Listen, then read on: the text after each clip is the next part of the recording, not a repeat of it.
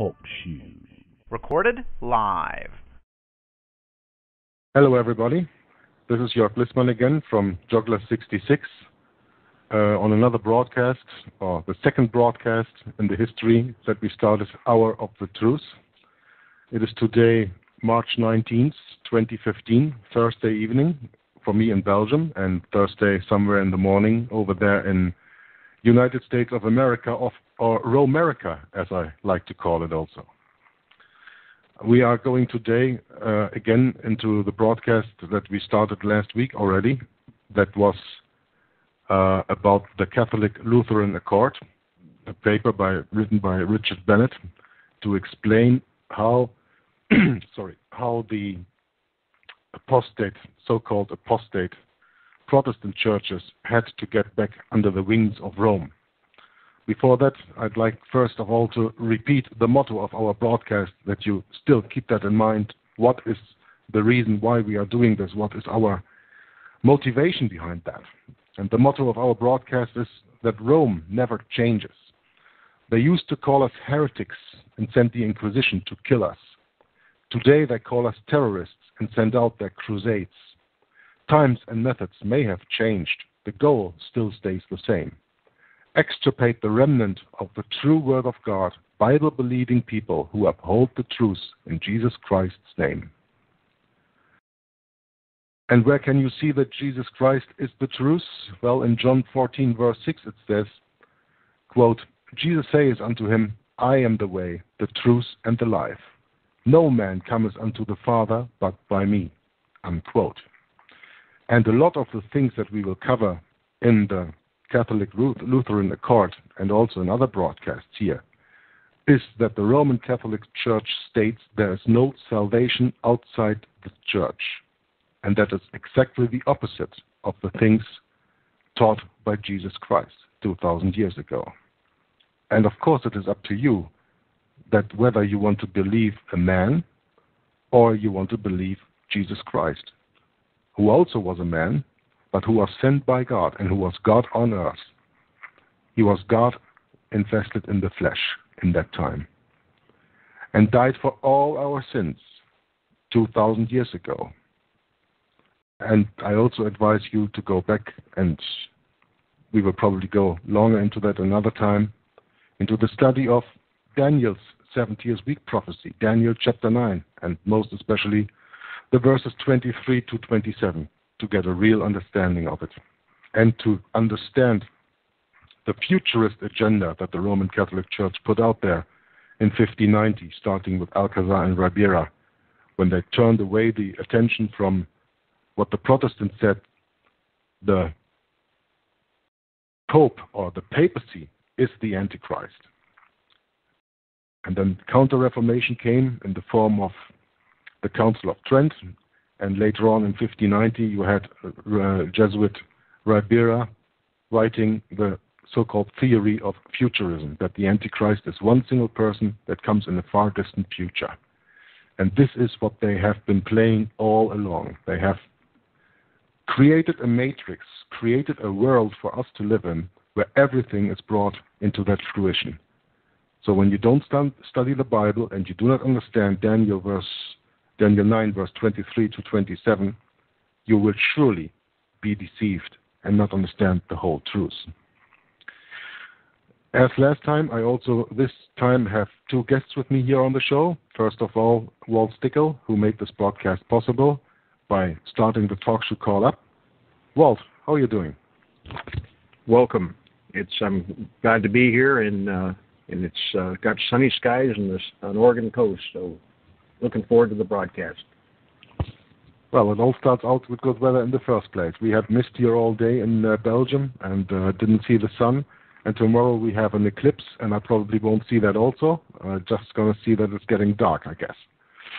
And my second guest on the show, my friend Tom Friess from Inquisition Update.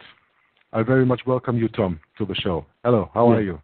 Thanks for the invitation, Jörg. Uh, good afternoon to you and to your listeners, and uh, very much looking forward to the uh, program today. Me too. But before we go into the Catholic Lutheran uh, Accord and uh, go further into reading it and uh, studying the analysis of it, like we did last week, I want to quote two news that I got from a webpage that is called www.news.va. Means that comes from the Vatican. You know, in the end of this year, in September of 2015, the Pope is to visit the United States of America. To me, that is the perfect uh, symbolism of um, Revelation 13 fulfilled, the mirror. When you stand in front of a mirror, what do you see? An image of yourself, right? So when the first beast, which is the Vatican, comes over to the United States of America, which is the second beast, and he comes there and speaks on behalf, very important part that was said. He speaks on behalf of the American people. Isn't that the mirror? Isn't that the image that he portrays of himself? And because this is such a very important week, uh, the 24th of September, I think it starts until the end of the month September that he comes to visit the United States of America. We have to be vigilant and see what is he doing in all the meantime, what is leading up to that visit. And so by that, I chose that site to take a few news right from the Vatican website itself and to see what he says about some things. Uh, first, there's an article called The Pope Says a Society Can Be Judged by the Way It Treats Its Children. I think this is very interesting to go a little bit into, and it's also a very small article, but I will just read it, and then uh, Tom and I will probably discuss the implementations of this and what, on the one hand, that he says, and on the other hand, what he doesn't say, and on the third hand, what is actually meant by all that. So I'm going to quote the article right now. Pope Francis today turned his thoughts to the countless children across the world who live in poverty and need. Addressing the crowds in St. Peter's Square gathered for the weekly general audience, the Pope continued in his catechesis on the family, focusing his time, uh, this time on children. Pope Francis said that children are a great gift for humanity and for the Church. Recalling the many happy children he met during his recent journey to Asia, brimming with life and enthusiasm, he said that, on the other hand, he thinks of the countless children throughout our world who are living in poverty and need. Quote, a society can be judged by the way it treats its children, unquote, he said. The Pope said that children remind us that from our earliest years we are dependent on others. We see this in Jesus himself, who was born a child in Bethlehem. This, he said, is a precious reminder of the fact the necessary condition to enter the reign of God is to never consider ourselves self sufficient, but in need of help, love, and forgiveness. He said that children also remind us that we are always sons and daughters. This identify, he remains, reminds us that we have been given the gift of life, that we never cease to be radically dependent. And speaking of the many gifts that children bring to humanity, Francis said they challenge us to see things with a simple, pure, and trusting heart. They have the capacity to receive and to offer warmth and tenderness, to laugh and cry freely in response to the world around us. And he pointed to a child's spontaneous trust in his mother and father, in God, Jesus, and in Our Lady, and said Jesus urges us to become like children, since God's kingdom belongs to such as these. That's from Matthew 18, verse 3. Pope Francis concluded, inviting all to, quote, welcome and treasure our children who bring so much life, joy, and hope to the world, unquote. How sad and bleak would our world be without him, he said, and ended the statement there, and that ends the article here. Well, the Pope suddenly becomes the attorney of all the children, right? He says that the children are a great gift for humanity and for the church. Well, you can interpret that the way that he says, or you can interpret that the way that he does. What's the difference, Tom? Well, the difference is biblical. And it contradicts just about everything that Pope Francis says in this article. First of all, Christ said that Christ, the Bible says that Christ is the head of the church, and we are all brethren.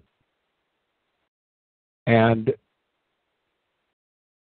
we are not to be dependent upon the church or the state. We were to be in this world, but not of it. We were supposed to be independent, each possessing uh, the Holy Spirit, indwelling us and guiding us into all truth.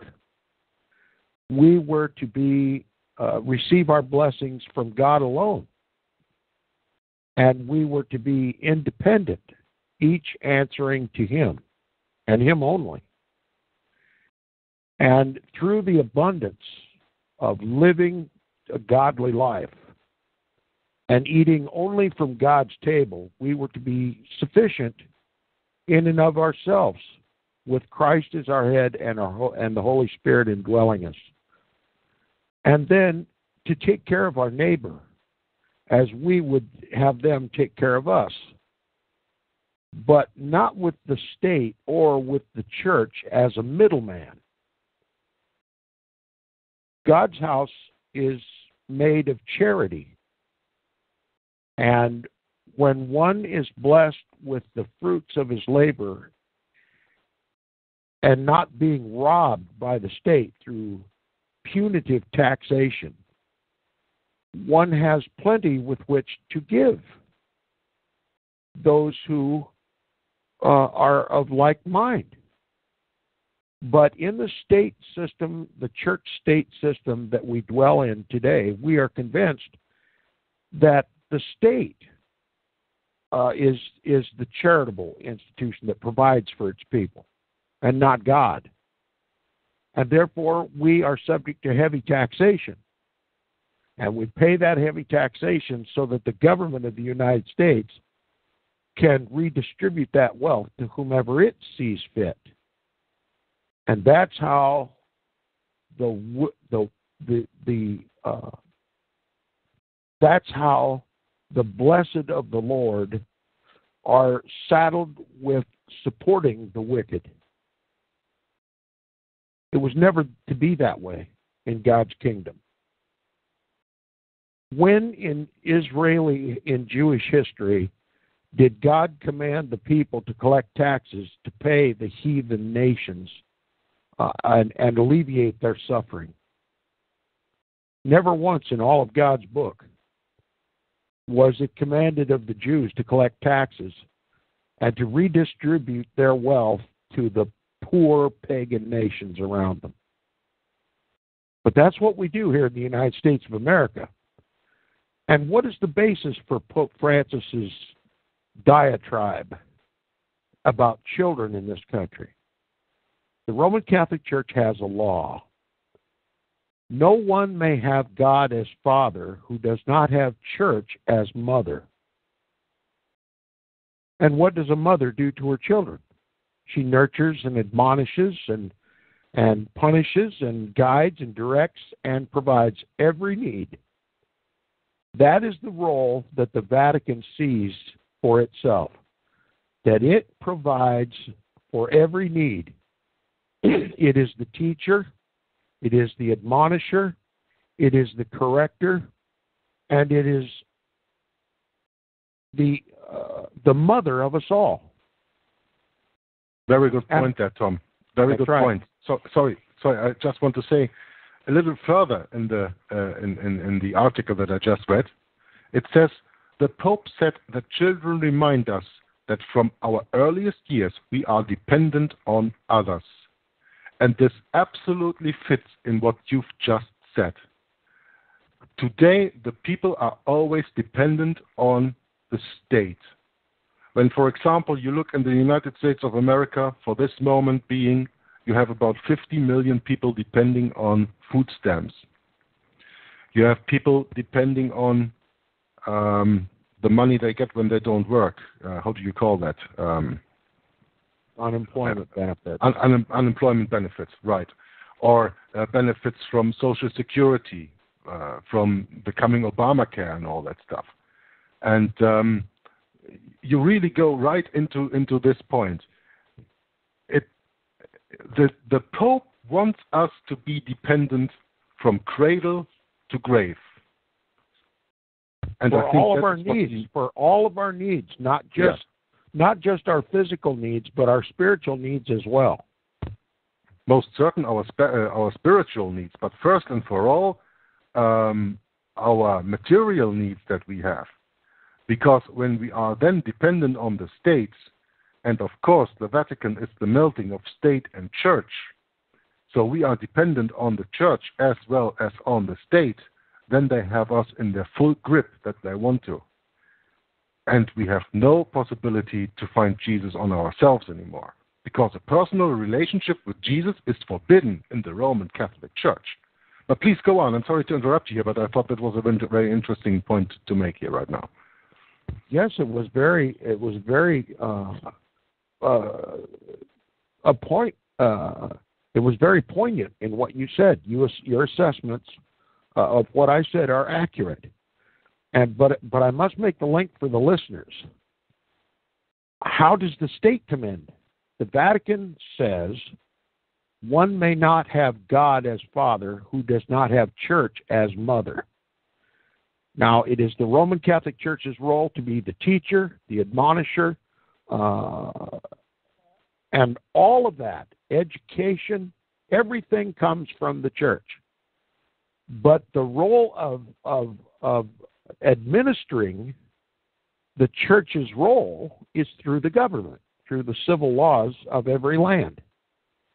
That is the proper role of government according to the papacy. So that's why our taxes go to Washington, D.C., and then they're redistributed according to church teaching, Roman Catholic Church teaching. And this is precisely how the godly provide for the wicked. It is the godly who strengthen the wicked in this country by the very system that is set up the government. The proper role of civil government is to serve the church. Any government of the world that does not serve the church is called by the Vatican a government uh, uh de facto.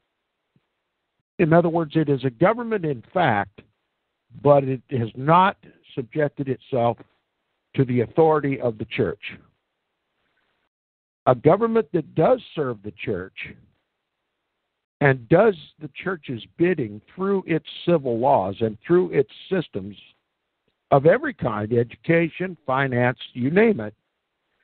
Any church that does obey Roman Catholic uh, uh, Vatican do- doctrine is regarded as a, a, a government du jour.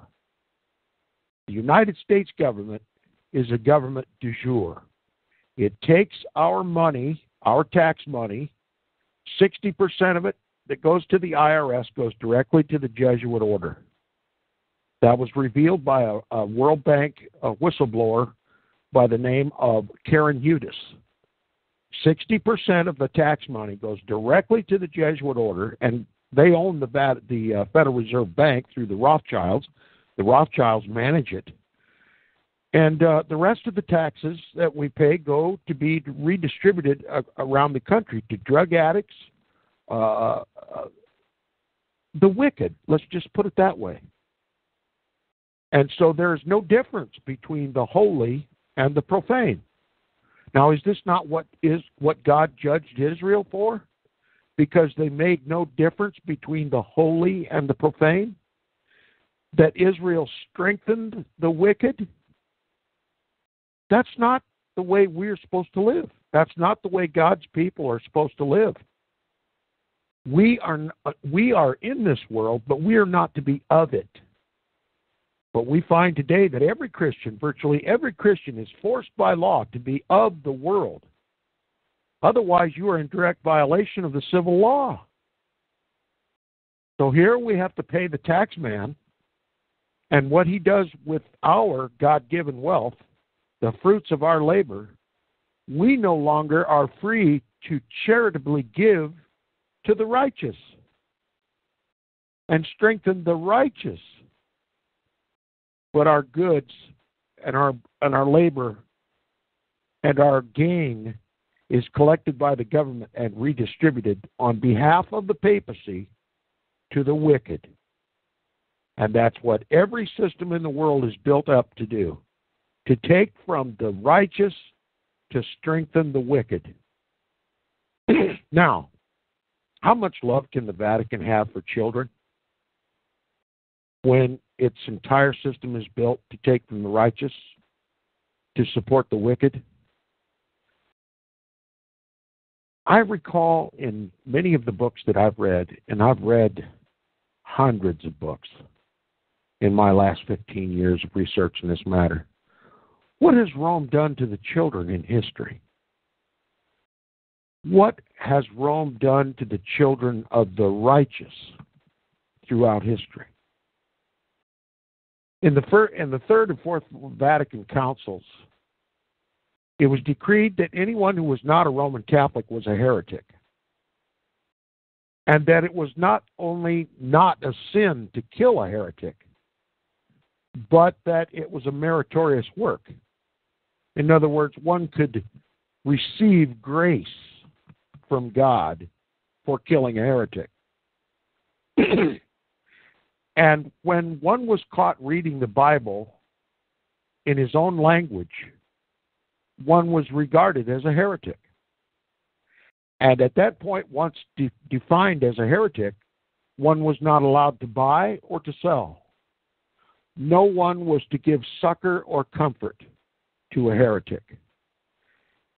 Rome killed the heretics and then confiscated all of their property, giving a certain portion of it to the state for for actually doing the work of the church and killing the heretics. It was always given to the state to do that, to extirpate and to annihilate the heretics from their realms. They would kill the parents who were reading the scriptures, they would deny them a burial. Their bodies were thrown in the gutters for the dogs to eat. Their property was confiscated by the state. The state took so much of it, the rest of it went to the Roman Catholic Church. The children were either killed with their parents or they were taken off to monasteries and nunneries to be raised up in Roman Catholicism, the Church of Antichrist, the synagogue of Satan. That's the whole history of the Roman Catholic Church. That's how they operated during the Dark Ages, during the Old World Order. Today, in the New World Order, that Old World Order is being restored. Remember this and never forget the New World Order is not new at all.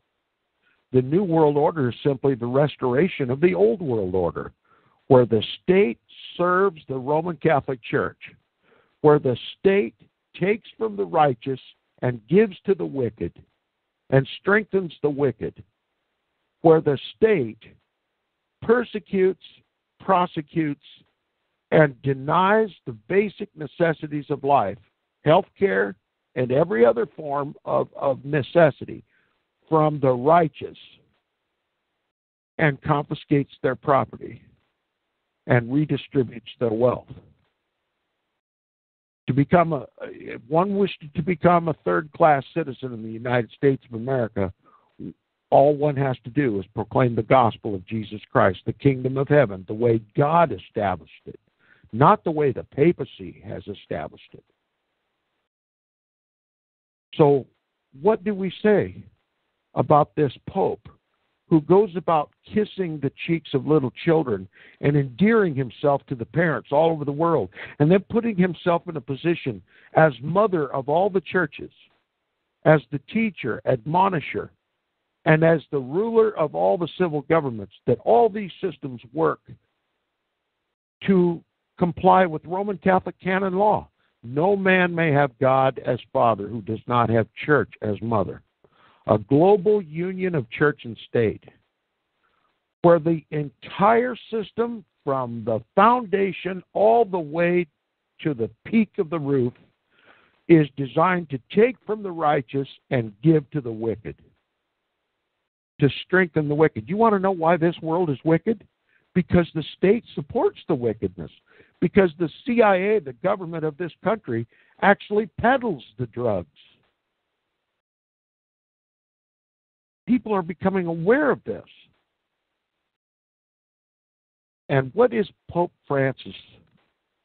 What is Pope Francis but a liar? And nowhere is it more evident than in the global, the global priest pedophile pandemic. No one will ever know how many pedophile priests there are among the ranks of the Roman Catholic priesthood until God actually comes and exposes them all. But even the, government controlled mainstream medias can no longer remain silent about this global scourge. Priest after priest after priest in Roman Catholic countries and even in once Protestant countries like the United States, the pedophile priest pandemic is exploding.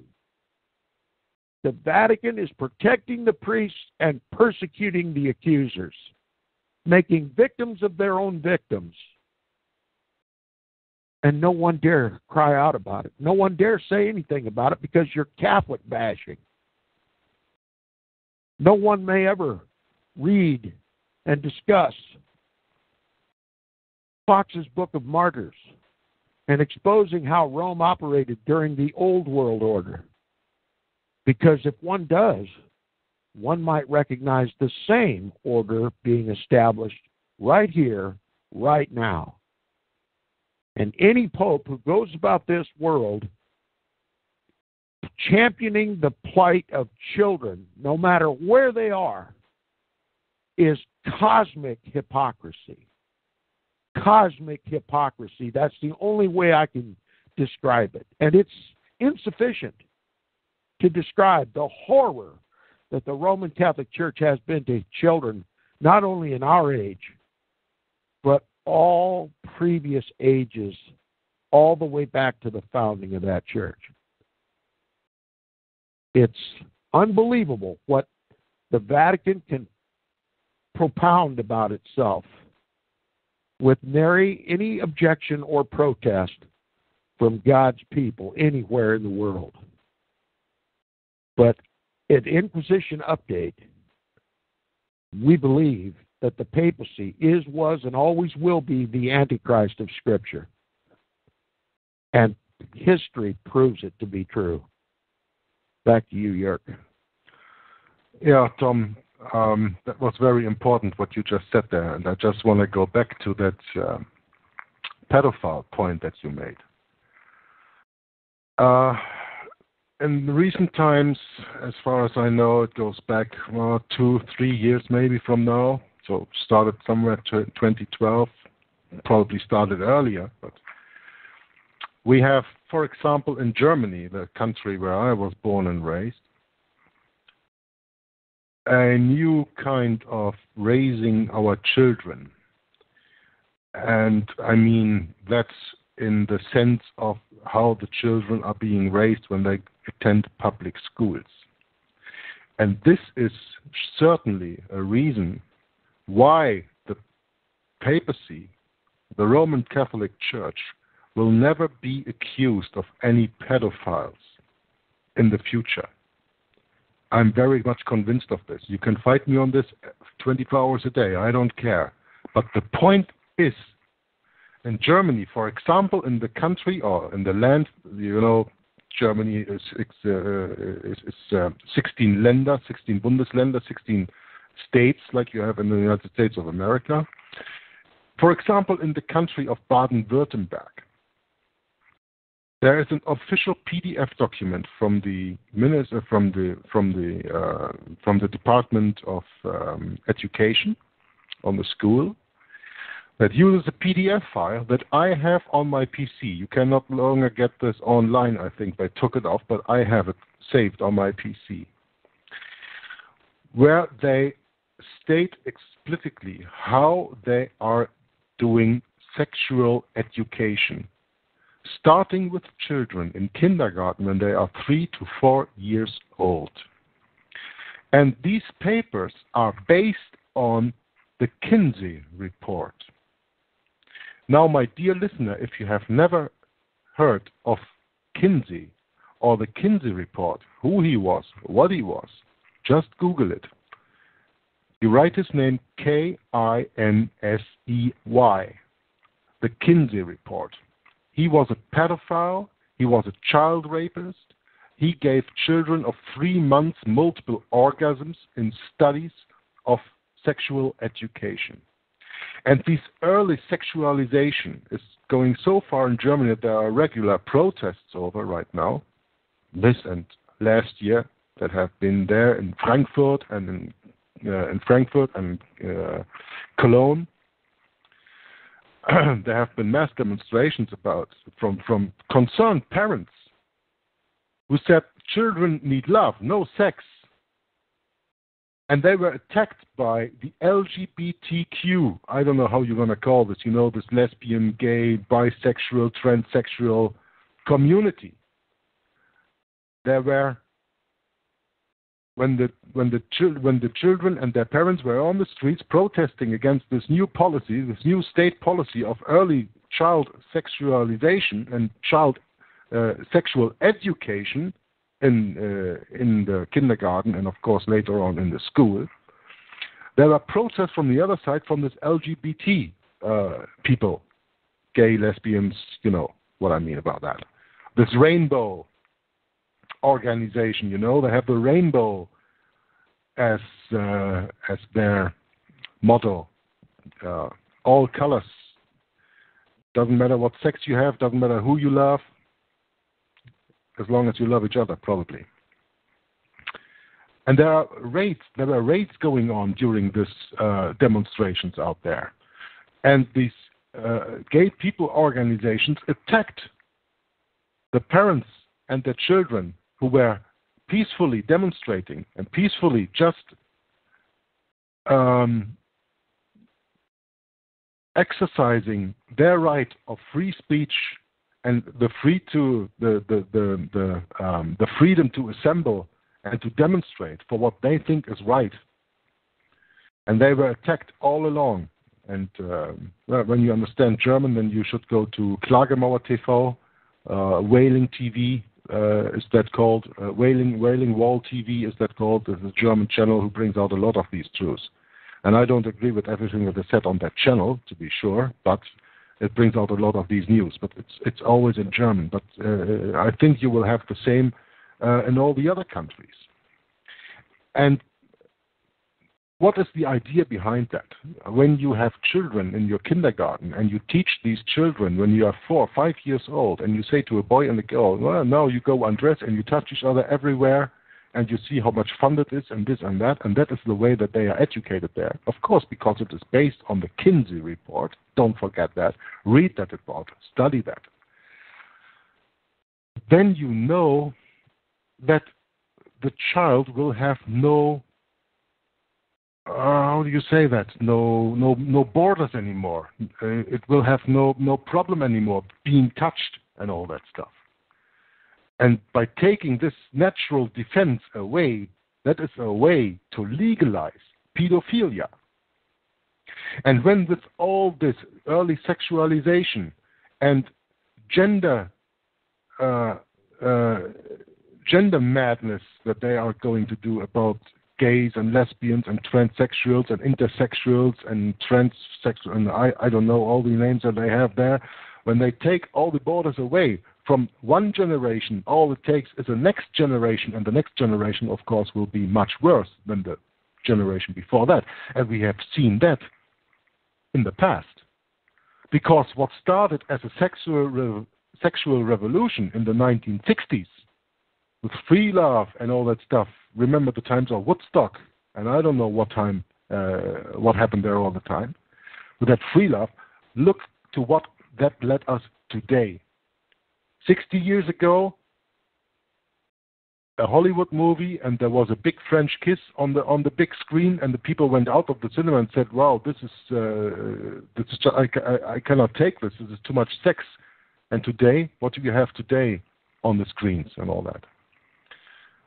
But I don't want to take all the time. Tom, I think you uh, certainly have something to say to that uh, early uh, child education, sexual education uh, on, on, yourself, and, and, want to come into this point. So please support me a little bit because I'm, sometimes I'm looking for my words. Certainly, certainly, the state uh, the state has served the church, the Roman Catholic Church, by sexualizing our children at a young age, kindergarten and before, even in preschool. Sexualizing the children is to be to produce sexual chaos and a, and a, and a total totally dependent society. Because when a child raises a child, he cannot support the child, and it's an extra burden upon the family, and then it becomes an extra burden upon the state. The better to justify higher and higher taxes to take from the godly and give to the righteous, the unrighteous, to strengthen the unrighteous. And uh, that's the name of Rome's game to take from the righteous to strengthen the unrighteous. Now, this Pope claims to be a defender of children. But don't forget, this is a Jesuit Pope, the first Jesuit Pope in the history of the Roman Catholic Church. This particular Pope, Jorge, uh, Jorge Mario Bergoglio, was a Jesuit provincial in Argentina. This Jesuit Pope oversaw the overthrow of the duly elected government of Argentina in favor of a Nazi backed uh, military junta. And this Nazi backed military junta was installed by the Vatican through Pope uh, Francis I to protect the records that had been that had come to light in Argentina, uh, where the Vatican, together with the CIA, uh, opened the the rat lines they were called, where they hustled the the war criminals, the Nazi war criminals from Germany and Europe and brought them to safe haven down in Argentina. And of course, there were records of all this taking place. And those records were about to be made public by the, the duly elected government of Argentina. And the, the Vatican had to go into overdrive to cover up their part in the Vatican rat lines. And that's why the Nazi style uh, regime overthrew the duly elected government of Argentina. It was a Vatican overthrow of the government, led by Jorge Bergoglio, the current Pope, Francis I. Now, what came of this? Thousands and thousands of people simply disappeared. And the stories that came out of Argentina were that these that the opponents of this Nazi regime, this Vatican backed Nazi regime, led by Jorge Bergoglio, were literally taken up in helicopters, taken out over the Atlantic Ocean, and dropped from hundreds of feet to their deaths. And they simply disappeared. Mothers and fathers, along with their children. And some of the children were even, as Rome has always done in the past, simply taken from the parents and put in state sponsored schools, Nazi sponsored schools, Roman Catholic sponsored schools, nuns, nunneries, and monasteries to be raised up Roman Catholic. It was a modern day Inquisition, the likes of which could be recognized by anybody familiar with history. Rome is still doing today what she has always done overthrowing governments de facto or governments de jure. Overthrowing governments that will are disobedient to the Vatican, which the duly elected government of Argentina was, they were going to expose the Vatican's role in, in the Vatican rat lines and all the Nazis that found refuge in Argentina and protected by the church, protected by Jorge Bergoglio, cardinal at that time. And they confiscated the children. Now, they murdered many of the children right along with their parents, just dropped them off into the ocean, disappeared. No one knows where they went. but they're just suddenly gone. Their bodies have never been found. 45,000. And who knows how many children were, were taken off into Roman Catholic nunneries and monasteries to be raised Roman Catholic to help strengthen this Nazi, this Vatican backed Nazi regime. And of course, Jorge Bergoglio was being accused by the Argentinians and forced to stand trial for war crimes. And the Vatican, in order to escape their precious Jesuit priest from from prosecution, simply made him pope, and thereby gave him diplomatic immunity. Because the pope can be judged by no man. now this pope, that's right, and this pope who goes around the world kissing little children plays real well in front of the cameras, but the truth is unbelievable. The truth is gut wrenching. This is a global criminal. Jorge Bergoglio is a global criminal. He brought the Roman Inquisition to Argentina.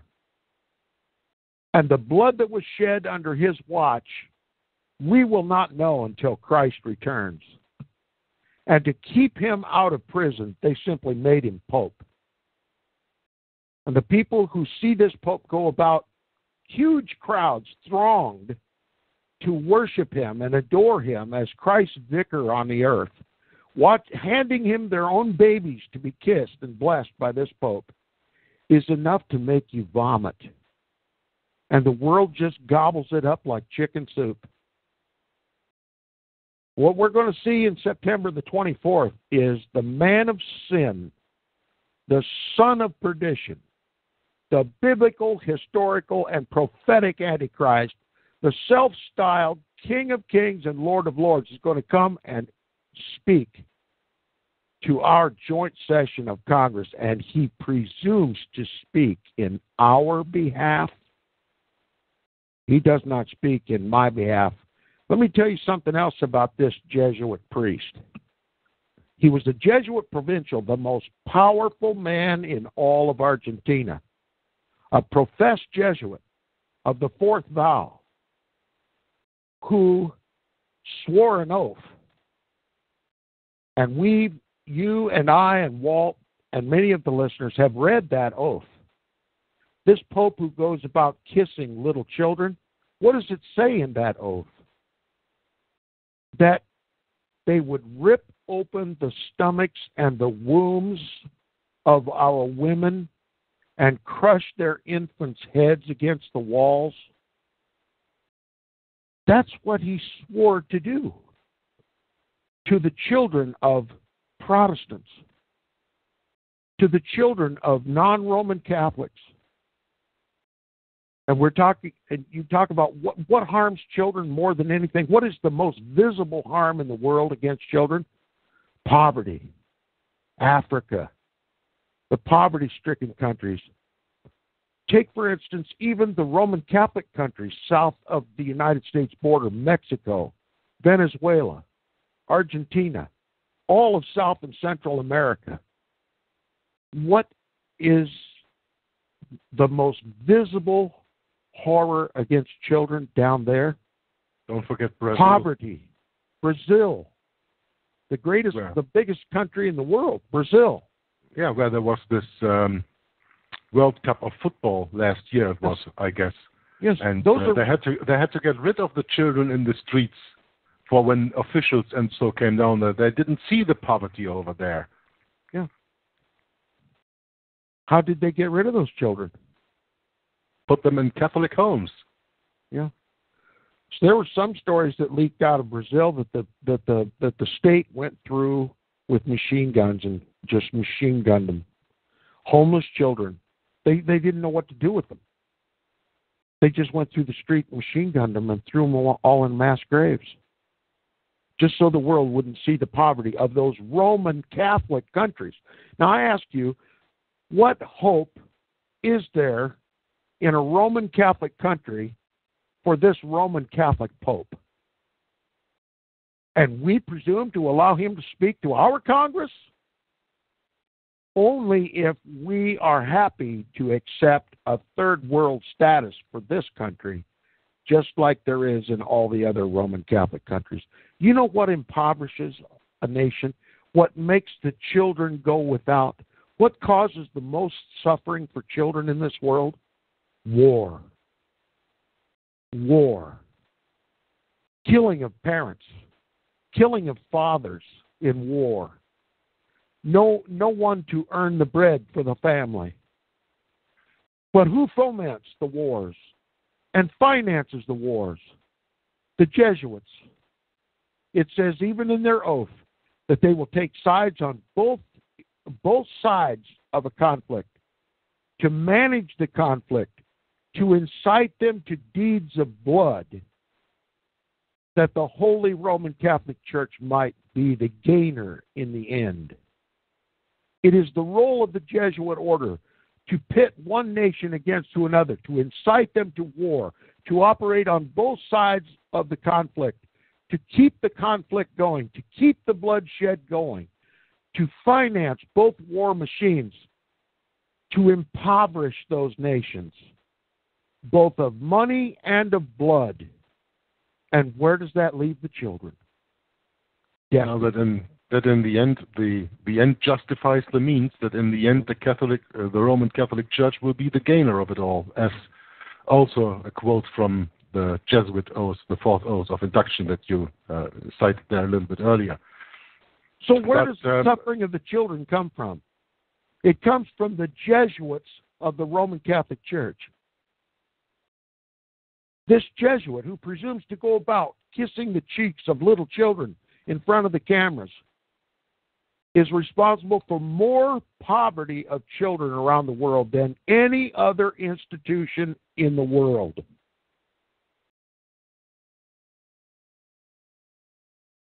Yeah, thank you, Tom. This was a very good explanation. And um, when you mentioned the uh, Pope's visit to the United States of America in September 2015, you gave me a reason to go over to the next article that we wanted to talk about a little bit. because uh, I, I, don't know if we even come to the Catholic Lutheran Accord because I very much enjoy the conversation we have here just on this one article, and we could go on for hours and hours. Uh, I, I, know there's no no way to stop you, and I don't want to stop you, but uh, we have a little bit of a timeline that we want to keep. And I really would like to read the second article from the Vatican website, news.va, that states UN Secretary General welcomes papal UN visit. this is from the Vatican Radio. The Secretary General of the United Nations, Ban Ki moon, has welcomed the visit to United, Headqu- uh, United Nations headquarters by Pope Francis, scheduled for September 25th. A state, in a statement issued on Wednesday afternoon, the Secretary General says, quote, His Holiness Pope Francis will visit the United Nations headquarters on the morning of 25th September 2015. End quote. The statement goes on to say, quote, the Secretary General welcomes the visit of Pope Francis as an important part of a historic year in which the United Nations marks its 70th anniversary and in which member states will take major decisions about the sustainable development, climate change, and the future peace and well-being of humankind.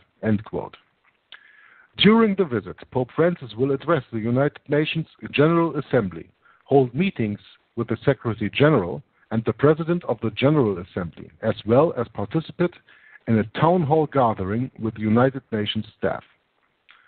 Ban Ki-moon's statement concludes saying, quote, The Secretary General is confident that His Holiness Pope Francis' visit will inspire the international community to redouble its efforts to achieve human dignity for all through ensuring greater social justice tolerance and understanding among all of the world's peoples.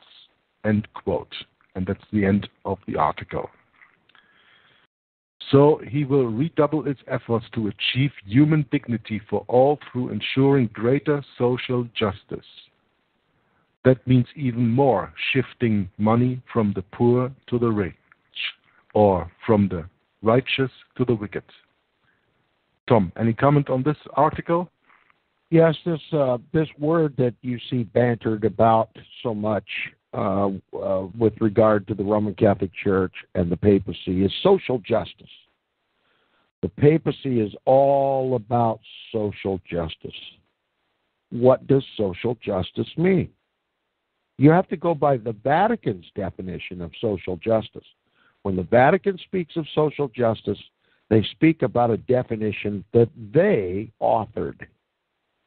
Social justice in the Roman Catholic Church goes back to what we said in the previous article. No one may have God as Father who does not have church as mother. And what goes along with that statement is a motto that is often quoted by the Roman Catholic Church. And it goes like this everything to the church and everything from the church, which is equivalent to saying everything to the state and everything from the state because the state serves the church and implements this motto. And that's facts on the ground that we can see today. Everything goes to Washington and then is redistributed to the people. That is social justice. That is how the Vatican institutionally, governmentally, by every by every institute of man, takes from the righteous and gives to the wicked. It goes along with Pope Benedict XVI's uh, encyclical entitled Caritas in Veritate, where Pope Benedict XVI literally made himself a global Robin Hood. That it is his prerogative, his sole prerogative, to take from the rich nations of the world and redistribute that wealth to the needy nations of the world. And who are the wealthy nations of the world? Those who were liberated from papal tyranny back in the Old World Order at the time of the Protestant Reformation.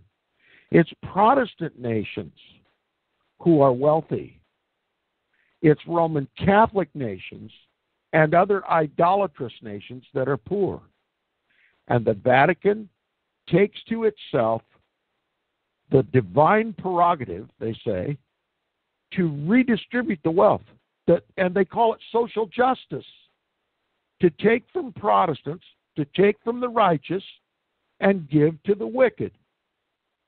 And they've done that through foreign trade agreements, they've done it through taxation, They've done it by taking the manufacturing, the high paying jobs out of this country and putting them in third world countries. NAFTA and GATT, you know, the, the giant sucking sound that Ross Perot talked about. He saw all this coming. And it's it has already taken place. And now the papacy is just announcing it. The papacy has established itself as the global Robin Hood, and social justice simply means, from the Vatican's point of view, which is the only point of view that makes any difference, that only that's the only point of view that counts, is to take from the rich Protestant nations and give to the wicked, idolatrous, and Roman Catholic nations. And that's what we've seen. And uh, they call it social justice. Protestantism can no longer be seen as righteous. Protestantism can only be seen as selfish, as materialistic, as a failure in that it failed to take care and raise up the rest of the nations in the world. You know, Israel was once the bright shining on the uh, shining city on the hill, Jerusalem the order that God established for the for the Israelites was to be example for every other nation. That they were to look at the Jewish nation and its God and marvel at it and to covet it. God was going to use Israel to bring all the other nations to itself. And that's what the United States could have been. It could have brought all the other nations to Christ were it still a Protestant nation. But like the Jews before us, we've abandoned our Protestantism. We've become ecumenical. We've become little Catholics in training. And the United States is no longer a shining city on a hill to draw all men to Christ. The United States now is to draw all men to Antichrist. And the United Nations is simply another Vatican governmental institution set up by the papacy, coddled by the United States of America, and promoted around the world. And it too is to become a global government, a government de jure that is obedient to the papacy. That's why the papacy is invited to come and speak and to talk about his social justice, about tolerance and understanding, so that Rome's version of social justice, tolerance, and understanding can be transmigrated into all the other nations. And all the other nations of the world have to give up their sovereignty to depend upon a global government headed up by the papacy so that there is a global redistribu- redistribution of wealth and that every man, woman, and child must participate in this global redistribution of wealth. It's a global attack on Protestantism and Protestant nations. And they call it holy, they call it righteous to take from wealthy and affluent and blessed Protestant nations and give them to heretic nations, to idolatrous nations, and to Roman Catholic nations. It's happening right before our very eyes, and no one perceives it for what it is. Back to you, Jörg. Yeah, thank you, Tom. Well, this was quite a lengthy um, starting of our broadcast, but uh, I think we leave these two articles now where it is and give the people some time to reflect on this when they were listening to this, um, that they can reflect on the articles and um, study it a little bit for their own. If uh, what we said here, how we analyzed it, and mostly, of, of course, you, Tom, how you analyzed what is said here, if that really is true or not. Um, I can only say people who think that the state is there to, to owe them something, to give them something, you first have to think of the state doesn't have any money at all except for the money that he first takes from you and then redistributes. And this redistribution to uh, achieve a higher social justice, as the Pope calls it, uh, will be done, and maybe will be done even by uh, get rid of the financial system that we have right now. Some people call it the petrodollar. It's the Federal Reserve notes and all this fiat money that we have in all the countries in the world that are ruled by a central bank. And I think there are only a country or three left that do not have a Rothschild controlled. And by Rothschild, of course, I mean Vatican because the Rothschilds are only the guardians of the Vatican treasure. Um, there are only two or three countries left in this world that don't have a central bank yet. And then it comes time to crush all this. And then, of course, they will say, well, it didn't work. Now we're going to introduce a new system, and then you're going to have to use that system because the old system they, they saw they they said, you see, this didn't work. And then they have a very good reason to redistribute all the wealth in the world. And it started already in the United States of America and also here in Europe by where we are we have given up everything that we produce ourselves. I mean, uh, what in the United States of America do you have over of really production over there?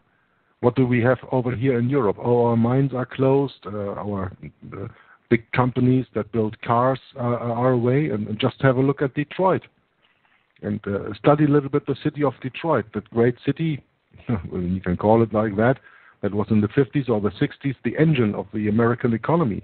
And look at Detroit today. What has become of it? And that is only an example. That will happen to your whole country, and that will also happen to over here in Europe when that comes all together. But I think now we should leave these two articles and uh, concentrate back on the um, uh, Joint Declaration of Justification, um, that article that Richard Bennett wrote on the Catholic Lutheran Accord. And um, last time we uh, finished reading the Joint Declaration and the Judgment of the Sovereign God and we have to continue now on page four of the PDF document with the headline The Joint Declarations Claim. And uh, I will start reading from that here, and uh, then we will see when uh, Tom comes in, and we're going to do a little bit discussion on what I've just read. I'm going to start now.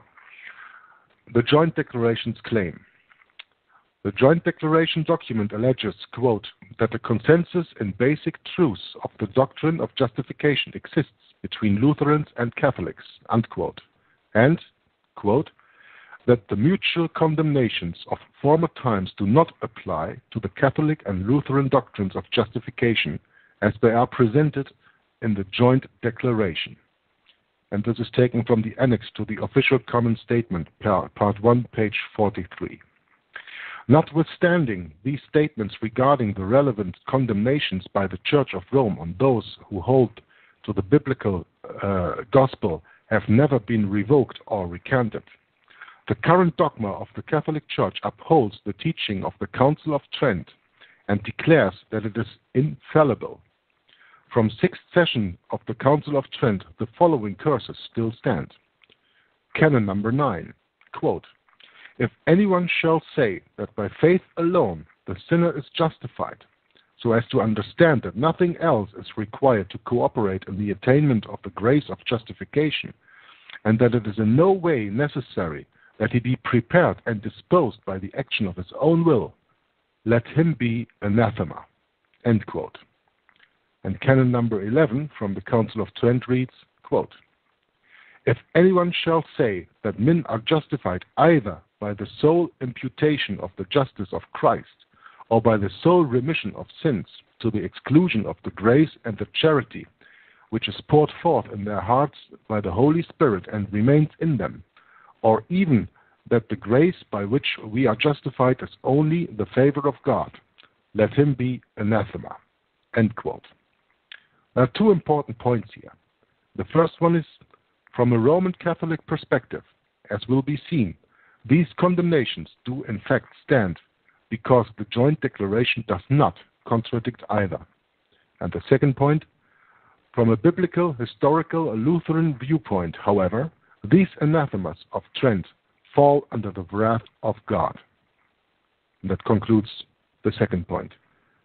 Thomas, is something you have to say up to here? Yes, plainly, according to the scriptures, it is by grace, unmerited, unmerited favor. It is by grace through faith. The subject, uh, the, the substance of things not seen whereby we are justified. It is by grace through faith that we are justified and not of works, lest any man should boast. The Roman Catholic Church claims to have found communion with the Lutherans. And there appears, at least from what they're portraying to the rest of the world, there appears to be no difference between the Lutherans and the Roman Catholics now regarding justification. But the Council of Trent lays down the gauntlet to Protestants, whether they be Lutheran or any other denomination.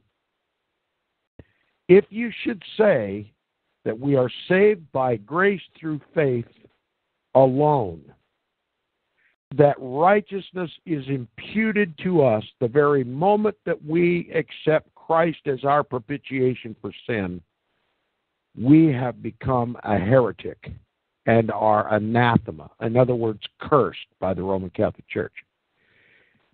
Put it plainly, if you believe what God said in His book, the King James Version of the Bible, and restated over and over and over in that book, how we are justified. If you believe that Bible in what it says, just the way God wrote it, you are a heretic, you are anathema, you are accursed. Now, if the Lutherans want to find communion with the Roman Catholic Church, who says that we are justified by baptism, then let the Lutherans go but God's people will never go back to Rome.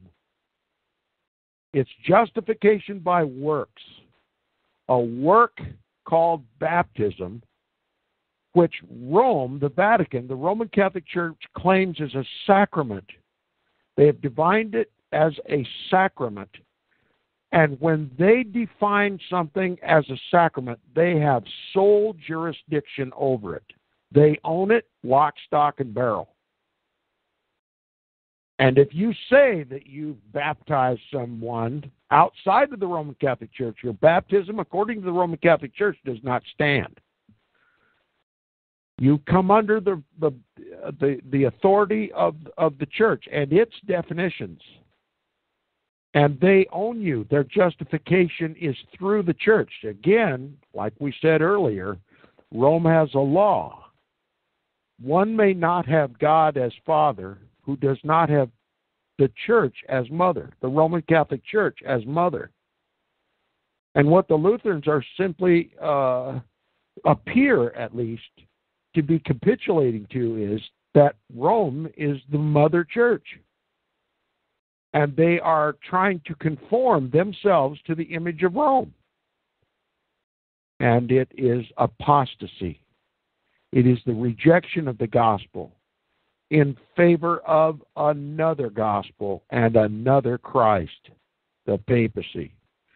And much, much praise belongs to Richard Bennett for writing this document, for analyzing this voluminous uh, joint declaration on the doctrine of justification, jointly uh, uh, created by the Lutherans and the Roman Catholics. He has read it and digested it, and no one is more qualified to assess this document than Richard Bennett because for 22 years he was a Roman Catholic priest.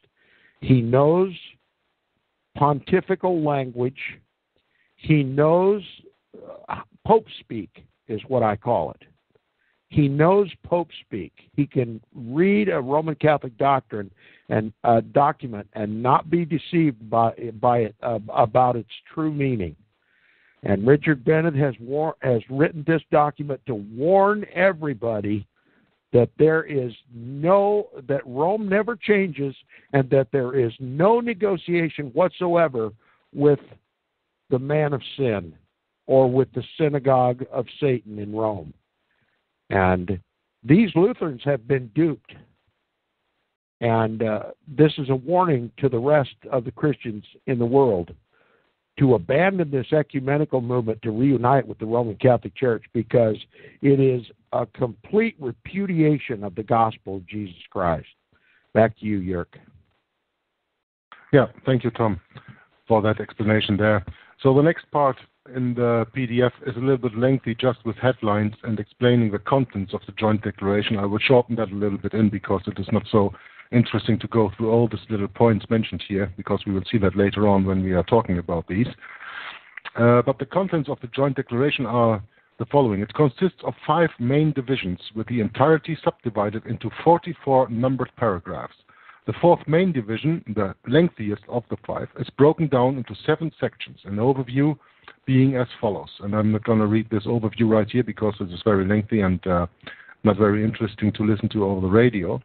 But the point is that um, the official common statement ratifies the joint declaration. This begins with three paragraphs, follows, uh, followed by the words, quote, by this act of signing, the Catholic Church and the Lutheran World Federation confirm the joint declaration on the doctrine of justification in its entirety. The official common statement has an annex with four sections. Finally, section 2 has five subsections, A to E what you have to understand, of course, when I'm reading this, is um, this is a document made from the Roman Catholic Church, uh, most and for all, and the Lutherans just signed it. That's the way that I understood it anyway. and um, the point being is they make everything that is so easy, they make so complicated. Have you ever read a Bible that is so complicated in this section and that section and uh, paragraphs here and paragraph there? No. The Bible is 66 books.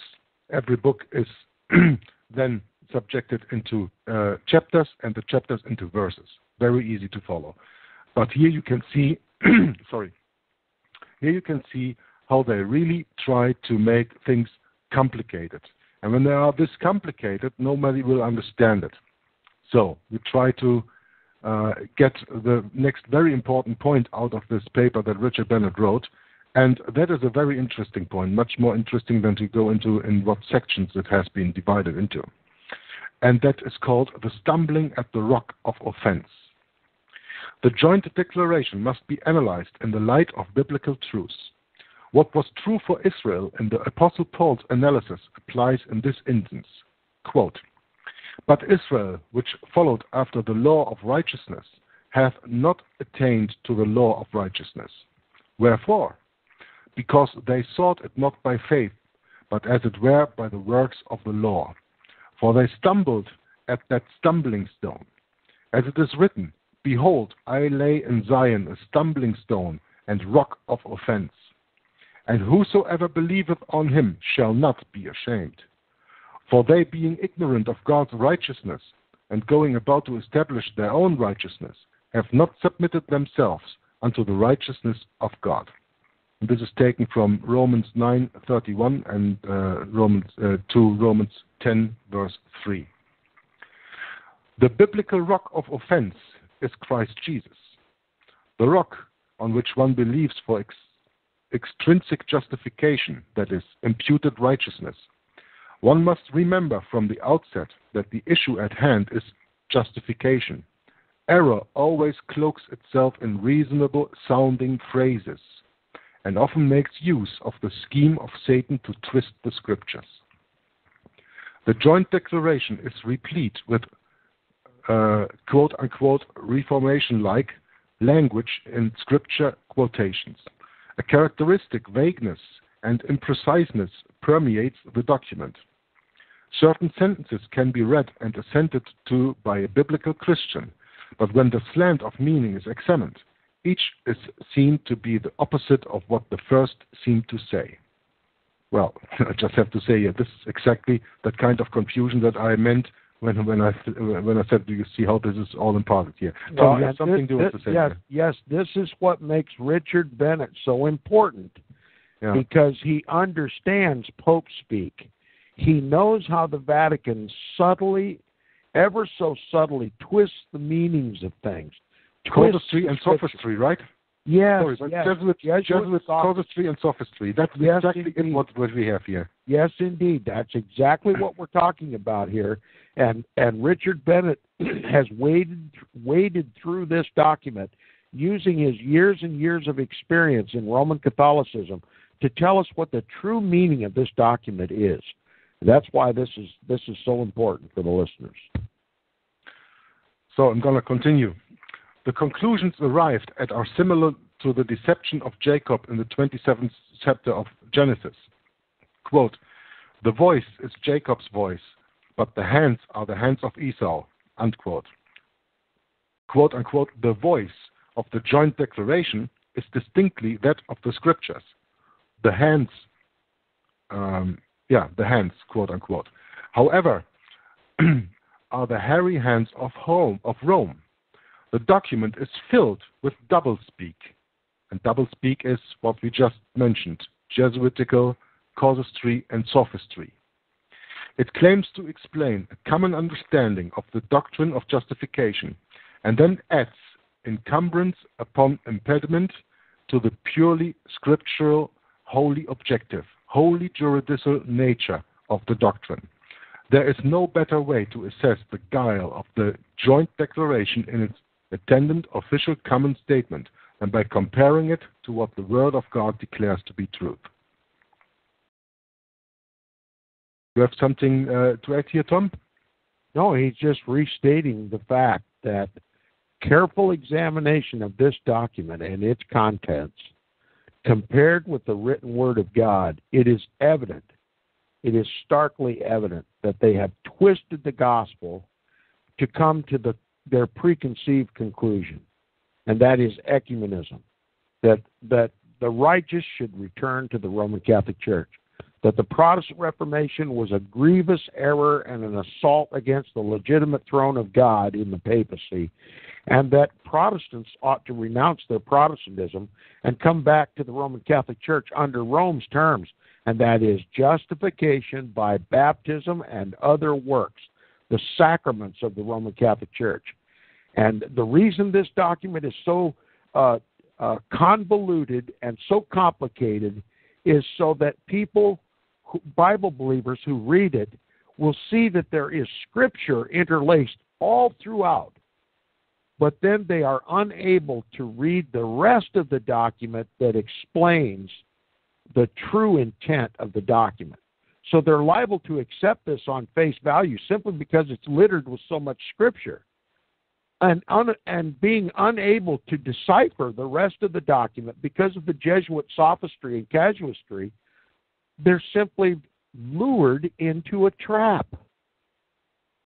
It's Rome's way of, of deceiving Bible believers to put Scripture out in plain language and then expound upon these doctrines in such a way that it cannot be deciphered unless you are a priest of the Roman Catholic Church like Richard Bennett, who was gloriously saved and is now exposing the Vatican's uh, duplicity in this in, in this document. Well, the next headline is something really to think about. It's called Trent in New Garments. Of course, referring to the Council of Trent in New yes, Garments. and by the way, that Council of Trent was convened and then ran by the Jesuit order. It From the beginning to the end. Yes, from beginning to end. And what it was, what the Council of Trent was, was a an open declaration of war by the Vatican against Protestantism. It enumerated all Protestant doctrines and damned them with anathemas and condemnations. And Well, we've already read a couple of them. So the Council of Trent needs to be understood, and they're just recouching the Council of Trent in other terms. Go ahead, Jörg. It is no it is no coincidence that they founded the Jesuit order in 1540, and five years later, the Jesuits had time, the five years in between, to prepare for the Council of Trent that they led that they led from the first to the very last day, 18 years long, in different sections, of course, that was held. It's not that they sit there uh, sat there 18 years in the same chair or something like that, but they had little pauses in there. But that was, of course, the answer that Rome needed to the Reformation that came up in the 1520s and 1530s. And all the countries that fled away from Rome had to be brought, had to be brought back under the wings of Rome. And therefore, they needed that Council of Trent. And now we are seeing Trent in new garments. What's that all about? Well, Vatican II that ran between 1962 and 1965. The end of 1965, I think it ended somewhere in October of 1965, was not anything new, but it was just a confirmation of the Council of Trent 400 years later. Do you think it's coincidence that the Council of Trent stopped in 1563 and 400 years later, Vatican II just started? 399 years? no, that's no coincidence. And everything that has been decided at Vatican II, the start of the ecumenical movement, that is what we've seen turning out here in, of course, the Catholic Lutheran Accord, because that is the first big step that they took some 30 years after finishing Vatican II. And that's why this next subject here is called Trent in New Garments. In the joint declaration, imputed righteousness is cleverly uh, sidestepped for the old lie of establishing one's own righteousness. The central point that separated the Reformation from Rome was the biblical doctrine of intrinsic justification. A person is accepted by all by the all holy God only, quote, in the beloved, unquote, and quote, to the praise of the glory of his grace, unquote. This is taken from Ephesians 1 verse 6.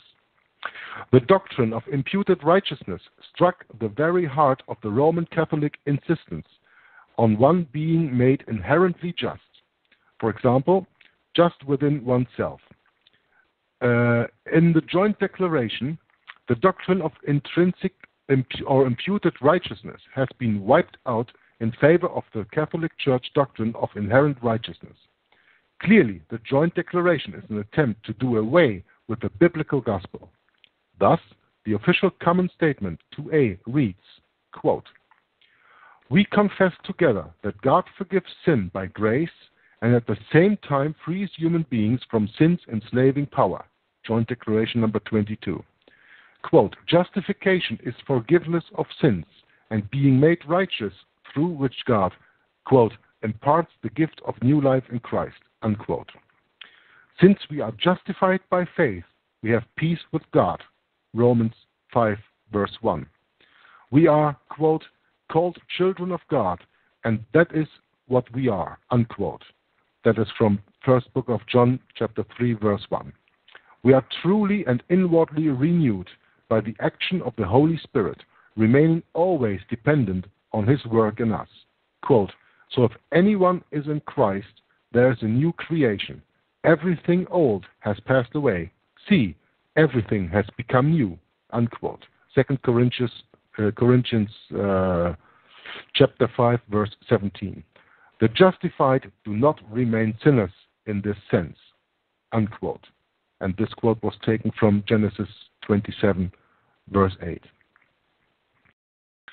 This is a convoluted mixture of the doctrines of justification and sanctification rather than merely a problem of semantics. Justification nowhere in Scripture ever means, quote, inherent righteousness, unquote, uh, i.e., being made righteous. The believer's justification is not based on a single iota or anything in him. It is based wholly in his standing in Christ. This is the crux of the matter in the joint declaration. One goes the way of all flesh to the judgment of hell if, it, if he adds anything to the pure and perfect righteousness of Christ.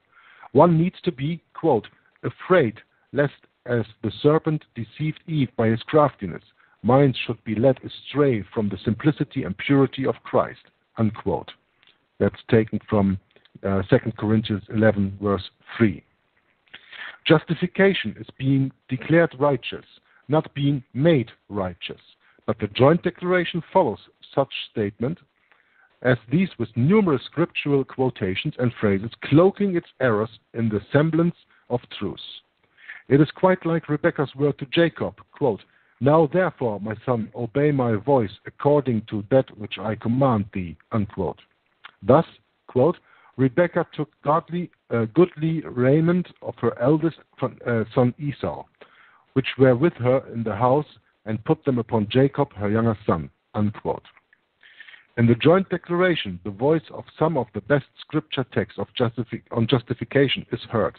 The conclusion, however, is similar to what Isaac discerned.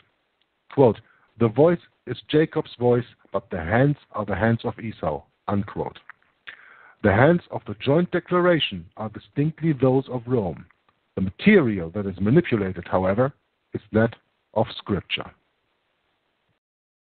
Tom, I yes, know you clearly, have a lot to say right here. Oh, yes. Uh, clearly, Rome defines things different. Uh, in the Roman Catholic Church, grace is infused. Okay? It, it, it, it becomes, it, uh, through participation in the sacraments, grace is infused into the believer. Now, that is wholly contrary to what the Bible teaches. We are saved by grace through faith in the shed blood of Jesus Christ. And when we accept Christ's propitiation for our sins, then we then then righteousness is imputed to us. In other words, it's an accounting term. You're simply placed from the debit side of the ledger to the credit side. Okay? Jesus does it all. Salvation is of God, not of works, lest any man should boast. Now, this trading of the word imputed with infused throws open the door for works justification. When the, when the Vatican, when the Roman Catholic Church talks about faith, they believe, they mean not faith the way Protestants, not the way the Bible says it, but faith according to the Roman Catholic Church is faith in the sacraments. That by participating in the sacraments, the Mass, baptism, confirmation, holy matrimony, on and on and on, these are the means by which grace is earned and then infused into the believer. It's entirely a gospel of salvation by works. And these works cannot come from anywhere but the Roman Catholic Church because the sacraments, as they are so called in the Roman Catholic Church, were defined by the Roman Catholic Church. They, by that definition, have stamped their mark of ownership on those sacraments. And you must participate in their system of salvation. Whereas the biblical imputation of righteousness, not the infusion of righteousness, but the imputation of righteousness, is simply when God takes your name from the book of life and puts it into the Lamb's book of righteousness, the Lamb's book of life. He accounts you righteous. Okay? It's an accounting term. The word infuse is a Roman Catholic word. The, Rome, the word impute is a biblical word. Righteousness is imputed to us. There's a passage that Scripture says, And Abraham believed God, and it was accounted unto him for righteousness. God did the accounting. It wasn't Abraham. All he did was believe. When God said something, he believed it because it was God who said it. And in him there is no lie, no deception, no subtlety, no guile. And when God said something, Abraham believed it. And because he believed, that's all he did. Because he believed God, it was accounted unto him for righteousness. That is altogether different than what the Roman Catholic Church says. You're saved by grace in the Roman Catholic Church, but that grace is received through faith in the sacraments. You must be a member of the Roman Catholic Church to participate in those sacraments. You see how the voice sounds like Jacob, but it feels like Esau? Again, Richard Bennett is telling it like it is. It's not what it seems to be, ladies and gentlemen. This joint declaration on the uh, doctrine of justification, this phony document, is nothing but deception. It sounds like Jacob, but it feels like Esau. And we don't want to have any part of it. And praises go to Richard Bennett for making this this the meaning of this document just stand out from the pages. It takes someone of his talent to read and analyze this document in comparison with the scriptures and the true meaning of the Word of God. And this is a, a hoax. This is deception. This is Jesuit sophistry and casuistry. This is Satan's subtlety. This has the mark of Satan all over it. It's nothing but guile. It's craftiness. And uh, we do well to heed uh, Richard Bennett's warning and the warning of the gospel. Don't be deceived just because it feels or it sounds like Jacob. You've got to test the spirits to see whether they are they are of God. And this joint declaration straight from the pit and its purpose is to destroy Protestantism. Where did Protestantism get its start? Martin Luther. Martin Luther was the one who proclaimed the papacy to be the Antichrist, that the selling of indulgences was contrary to the teaching of Scripture, and so was nearly every other teaching of the Roman Catholic Church. He was finally convicted. We are saved by grace through faith alone, and not of ourselves, not of our works. It is a gift of God, an unmerited gift of God. If you have to pay for it, if you have to perform the sacraments, it's no longer a gift, is it? Martin Luther understood this. And this church that calls itself Lutheran today, who would sign a document such as this with the Roman Catholic Church, is not the church of Martin Luther. And uh, we should heed these warnings. Back to you, Jörg. Absolutely, Tom. And uh, when you mentioned this, what I read, the voice is Jacob's voice, but the hands are the hands of Esau. That reminds me a little bit of Revelation 13. This is also a lamb that speaks as a dragon. Outwardly, it is a sheep. Inwardly, they are ravening wolves. Right? That's exactly right. Those people in Washington, D.C., who claim Christian faith and who would invite the papacy, the man of sin, the son of perdition, to come and speak in a joint session on behalf of the American people, there's no truth in them. There is no truth in them. They sound like Jacob, but they feel like Esau.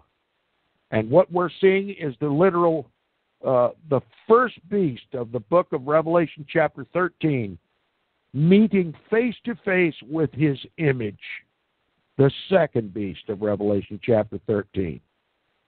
Exactly. That's a very good point there. So the next headline reads Being Made Righteous.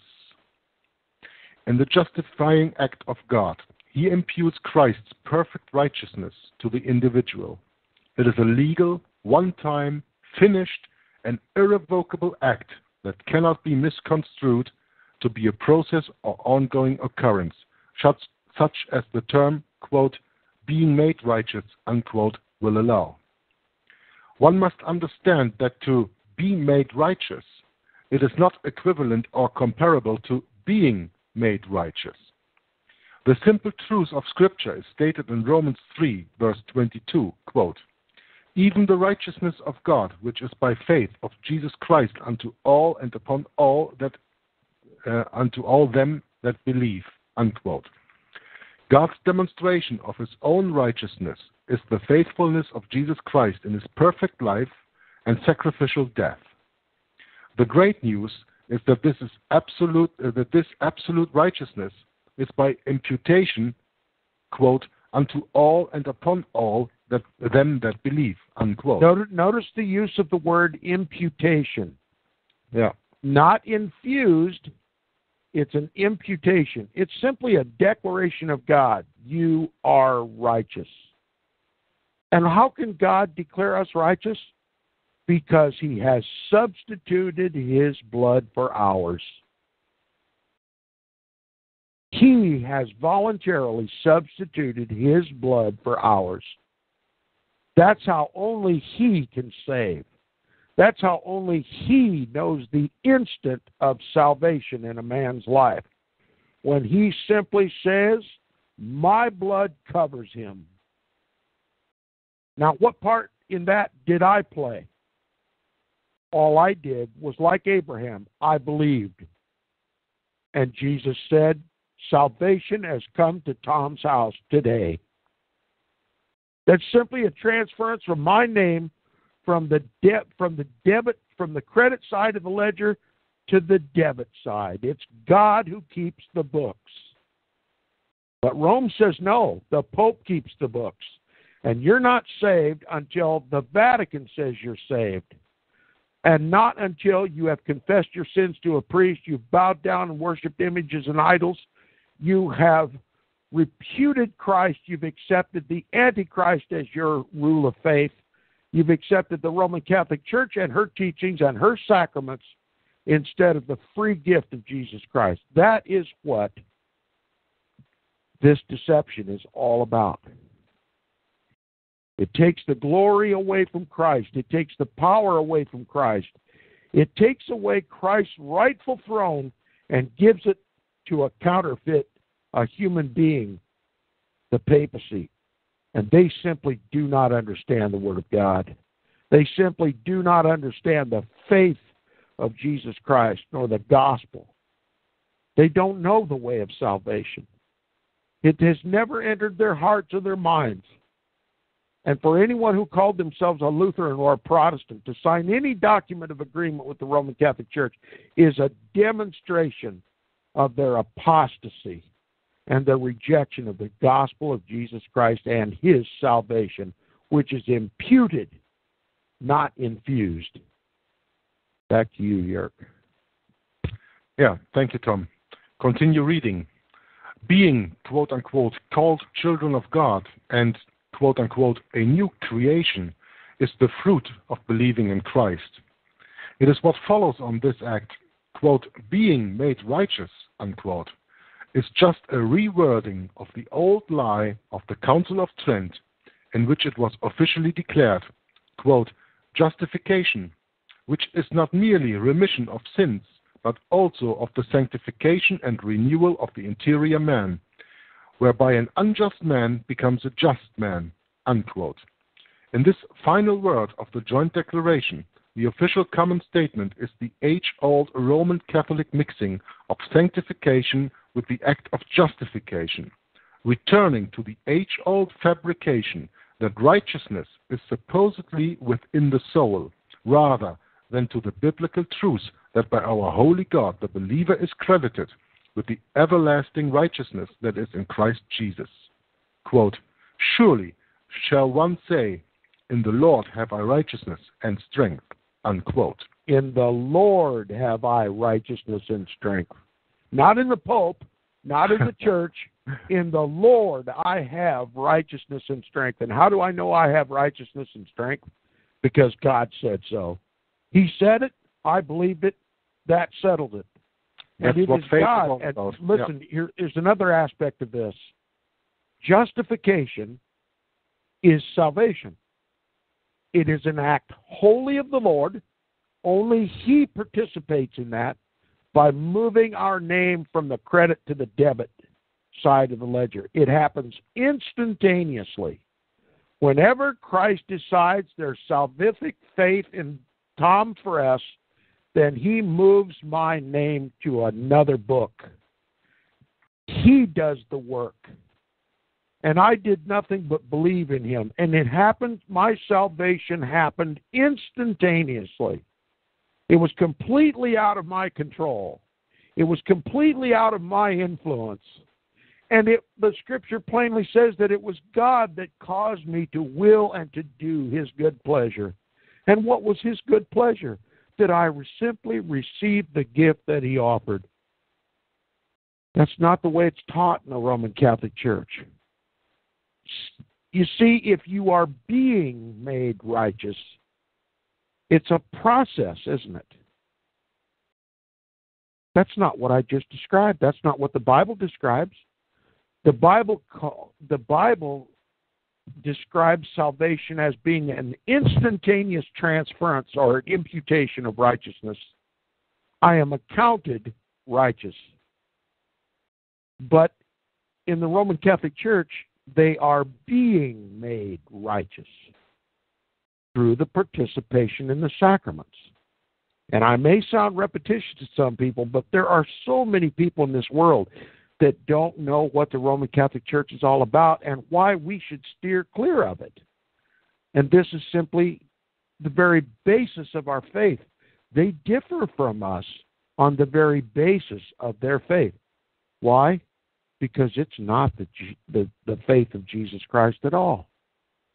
It's the faith of Antichrist, the papacy, the synagogue of Satan. It's a cheap counterfeit. It wouldn't deceive a child. And yet it has deceived the whole world and a world of Lutherans. We should pray for them. And but more than that, we should never be caught in the same trickery of Rome. Back to you, Jörg. Okay, thank you, Tom. I'm just going to continue this last paragraph, and uh, that will end the show for today. So continue reading.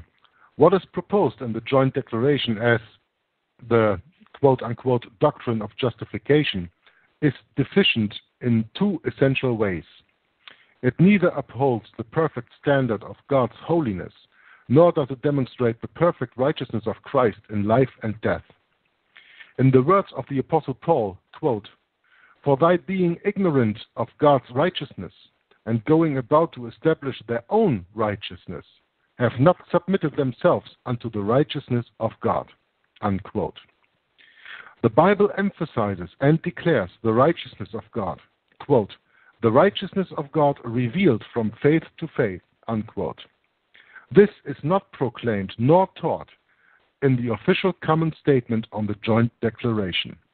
Destitute and sinful human beings need the perfect righteousness of Christ. This is what the scripture clearly says is now manifest. Quote, but now the righteousness of God without the law is manifested. And that is taken from Romans 3, verse 21. And that continues our reading of the Roman Catholic uh, Lutheran Accord for today. I would like to turn to Tom for some closing remarks on the thing that I just read. Yes, we are the recipients of a gift. If you have to work for a gift, it's not a gift. You've earned it, and it is owed to you. In other words, when you enter the gates of the city, you say to the keeper of the door, Open the door, I've earned my way in entrance into the city. But in the Gospels, we simply walk to the door and it opens for us because Christ opens and closes the door. That's why he called himself the door. Salvation is of Christ and him alone. If we place anything or anybody between us and that door, we will be shut out. Thanks, Jörg.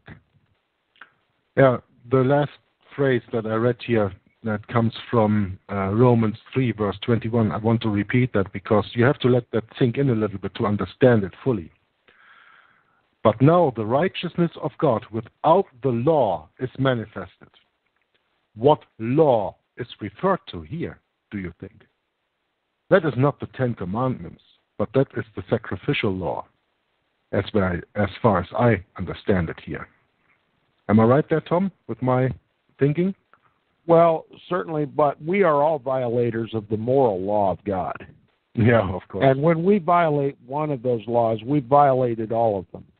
You see, that was a covenant with, that God made with the people. That's the standard by which righteousness is measured. That is the standard that Christ and only Him obeyed. And it is by that law that God justifies us in Christ.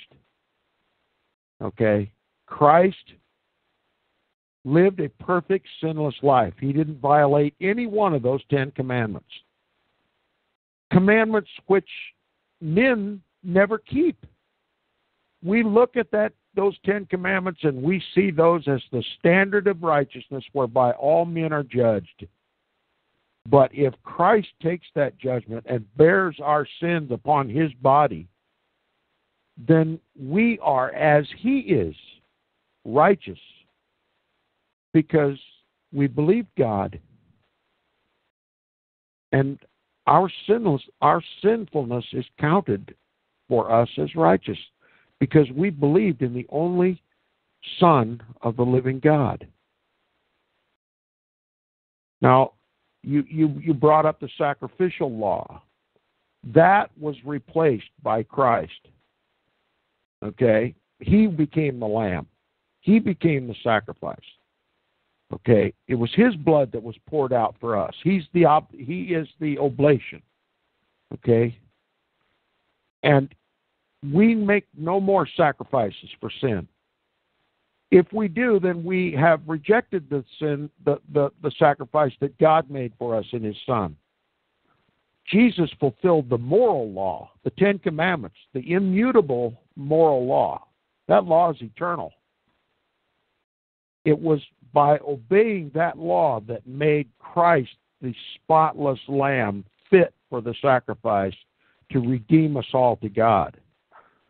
No man has, uh, you know, we're born in trespasses and sins.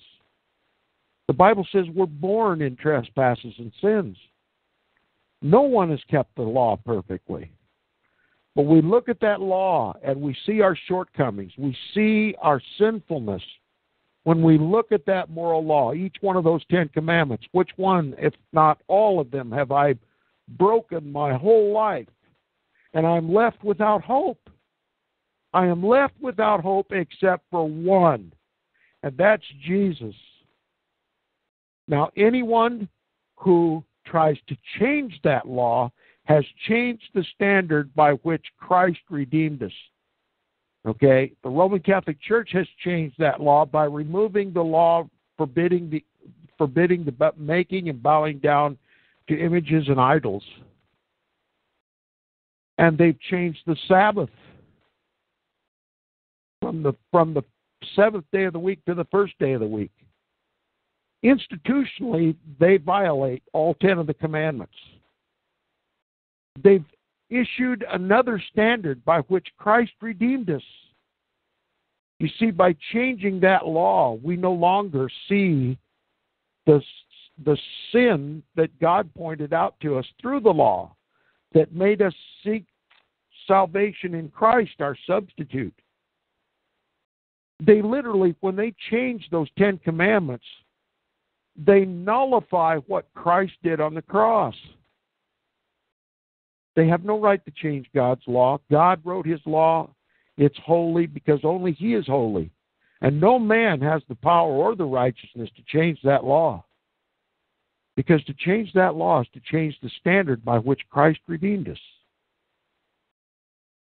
Uh, we, we may have to talk about this in another discussion to make it clear to the to to the listeners. But uh, the law remains. The Ten Commandments remains. As long as Christ remains, those Ten Commandments remain. Back to you, Jörg. Yeah, there's a part in the New Testament where it says, uh, "Now that the law is done away with, shall I sin?" No, God forbid, of course. So, of course, the Ten Commandments are still in order. I, I, I didn't mean that. I, I think I, under, I, I misunderstood it a little bit, but now I understand it.